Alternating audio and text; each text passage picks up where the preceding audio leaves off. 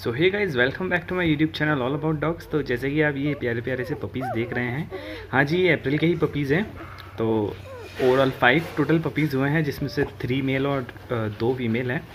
ठीक है गाइज़ तो आज इस वीडियो में यही बताने वाला हूँ कि पपीज़ कैसे हुए, उनकी डिलीवरी कैसे कराई। गाइज़ डिलीवरी की पूरी प्रॉपर वीडियो तो नहीं है बट हाँ एक पपी की है तो वो मैं आप लोगों को दिखाऊँगा।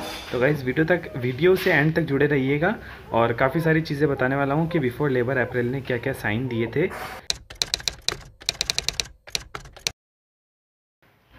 सो so गाइज़ अभी अप्रैल का टेम्परेचर काफ़ी डाउन हो चुका है लाइक मतलब धीरे धीरे नीचे आ रहा है। पहले हंड्रेड डिग्रीज़ पर कुछ था अभी नीचे आ चुका है काफ़ी। सो मे बी थोड़ी देर में स्टार्ट हो सकती है लेबर लेट्स ही देखते हैं कितना टाइम लगता है।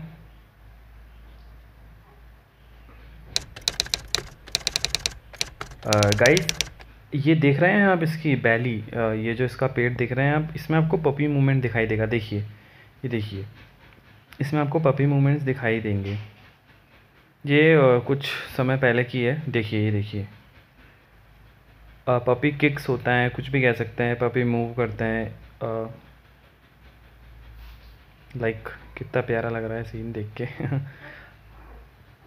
ऐसा कुछ सीन होता है गाइस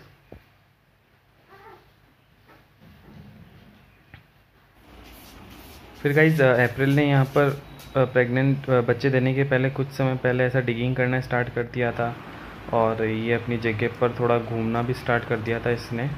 लाइक ये कुछ साइन देने होते हैं जो डॉग्स देते हैं लाइक बच्चे देने से पहले। तो वैसा कुछ इसने स्टार्ट कर दिया था और मुझे लग गया था कि हाँ कभी भी बच्चे हो सकते हैं। गाइस काफ़ी ज़्यादा ये हाफ़ रही थी मतलब काफ़ी ज़्यादा इसकी ब्रीथिंग फास्ट हो चुकी थी उस टाइम पे। बहुत फास्ट ब्रीथिंग कर रही थी ये।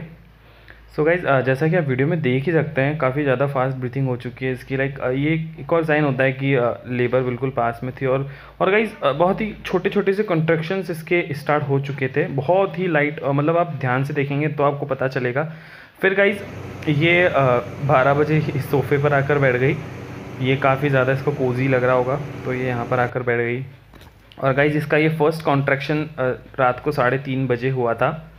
देखिए, ये फ़र्स्ट टाइम इसने कॉन्ट्रैक्शन दिया था। काफ़ी अच्छा जो पपी करवाने के लिए सफिशेंट होता है। और फिर गाइज़ यहाँ से इसका ये पहला पपी हुआ था। जो वेरी फ़र्स्ट पपी था इसका, वो हुआ जो कि एक मेल था। ठीक है गाइज़ तो गाइज़ देखिए अपने आप कर रही है। बट गाइज़ ये जो इसका जो वेस्टेज होता है ना, ये जो प्लेसेंटा होती है, ये डॉग को नहीं खाने देनी चाहिए। लाइक बोलते हैं बट डॉग्स खा जाता है नॉर्मली बट मैंने इसको नहीं खाने दिया इसको। और गाइज़ मैंने अपने हैंड वॉश कर रखे हैं प्रॉपरली सैनिटाइज कर रखे हैं। ठीक है गाइज़ और फिर उसके बाद में ये पैकेट खोला और ये पैकेट खोलने के बाद इस पपी को बाहर निकाला। और फिर गाइज़ इसके बाद में हमको गाइज़ प्लीज़ माइंड मत करना और रात का टाइम था और आ, मैं प्रॉपर रेडी नहीं था। तो वीडियो में अगर कुछ आपको अजीब सा लगे तो देख लेना यार। फिर गाइज़ इसके ये थोड़ी सी ये जो होती है इसकी कॉर्ड इसके ऊपर धागा बांधना पड़ता है और फिर थोड़ा सा ऊपर से ब्लेड से उसको कट करके और फिर ये देखिए इस तरीके से जैसा इसमें दिखा रहे हैं। ऐसा करके और फिर इसको प्रॉपरली मदर के पास दे देते हैं पपी को। तो ऐसा ही कुछ किया था मैंने भी। और गाइज़ ये रहे सारे के सारे पपीज़ बहुत ही क्यूट पपीज़ थे गाइज़ सच्ची में बहुत अच्छा लगा मुझे देखकर। मैं काफ़ी टाइम से वेट कर रहा था गाइज़ कि अप्रैल कब पपीज़ देगी, कब पपीज़ देगी। सो फाइनली अप्रैल ने पपीज़ दे ही दिए। फाइव पपीज़ हुए हैं गाइज़ जिसमें से थ्री मेल है और टू फीमेल है। पपीज़ काफ़ी अच्छे हैं गाइज़ एक और चीज़ ये बताना चाहूँगा गाइज़ जब पपीज़ होते हैं तो आप कह नहीं सकते कि यार ये लॉन्ग कोट है हैवी बोन है, कैसा पपी है, कुछ पता नहीं चलता गाइज़ पपीज़ सारे सेम दिखते हैं। कुछ ट्वेंटी डेज़ के बाद जब पपीज़ बड़े होने लगते हैं, तब पता चलता है ओवरऑल पपीज़ की कैसी क्वालिटी है और कैसे वो बन रहे हैं लॉन्ग कोट बन रहे हैं सिंगल कोट है या फिर हैवी बोन है, जो भी है। तो वही सब होता है गाइस और गाइस फिर ये मैंने आज की वीडियो बनाई थी डे टू पपीज़ के साथ। तो ये कुछ क्लिप्स हैं, आप देखिए, आपको अच्छी लगेगी एंजॉय करिए इस वीडियो को आगे तक।